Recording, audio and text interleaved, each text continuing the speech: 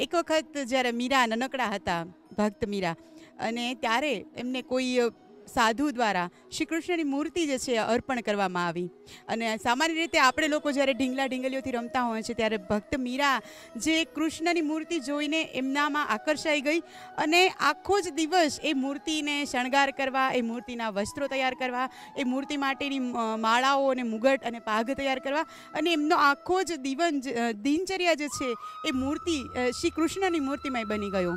અને એમ કરતાં કરતાં એક આખો ભક્તિભાવ જે છે એમનામાં ઉજાગર થયો. અને મારી પાછળ જે જગત મંદિર દ્વારકાધીશનું દેખાય છે, એ મંદિર અને એ જ મૂર્તિમાં કહેવાય છે કે મીરાબાઈ જે સહદે સમાયા છે.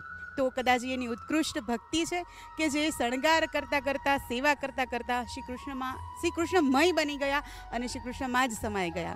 હજુ આજે પણ ક્યાંક ક્યાંક આપણે આવા મીરાના, રાધાના, ગોપીના સખી ભાવો જે છે એ જોવા મળે છે. આજે પણ ઘણા લોકો છે કે એમનામાં એ સખી ભાવ પ્રગટ થાય છે કે ભગવાન દ્વારિકાધીશ માટે કોઈ વસ્તુને અર્પણ કરીએ, કોઈ વસ્તુને બનાવીએ, કોઈ વસ્તુને સજાવીએ. અને મારી સાથે એવા જ વરવાડાના રહેવાસી શિવાની દાવડા આપણી સાથે છે કે જેઓ ભગવાન માટે કોઈ ઉત્કૃષ્ટ સેવા જે છે એ શોખથી કરે છે. શું સેવા કરે છે એમની પાસેથી જ જાણીએ. જય દ્વારકાધીશ. હું શિવાની વિજયભાઈ દાવડા. વરવાડા ગામે રહું છું, અહીંયા દ્વારકાથી પાંચ કિલોમીટર દૂર. અને મને ભગવાન પ્રત્યે પહેલેથી જ પ્રીતિ છે એટલી. મને ભગવાન શ્રી કૃષ્ણ બહુ જ પ્રિય છે. હું જ્યારથી નાની હતી ત્યારથી મને ભગવાન માટે કંઈક કરવાનો ઈચ્છા હતી મારી. અને આજે હું ભગવાન માટે, દ્વારકાધીશ માટે હું માળાઓ લાવી છું. અને હું બહુ ખુશ છું એના માટે કે મેં આ બનાવેલી મારા હાથની માળા જે ભગવાન દ્વારકાધીશને શ્રી અંગને સ્પર્શ કરશે અને એના બસ એના મને આશીર્વાદ આવા જ બન્યા રહે કે હું વારંવાર ભગવાન દ્વારકાધીશ માટે કંઈક ને કંઈક બનાવી લાવું. તો શોખથી જે શિવાનીએ શરૂ કરી છે ને બાય પ્રોફેશન એ શ્રીજીના શણગાર બધા જ પ્રકારના માળાઓ મોતીઓના શણગાર છે બાય પ્રોફેશનલ હવે તો કરે છે.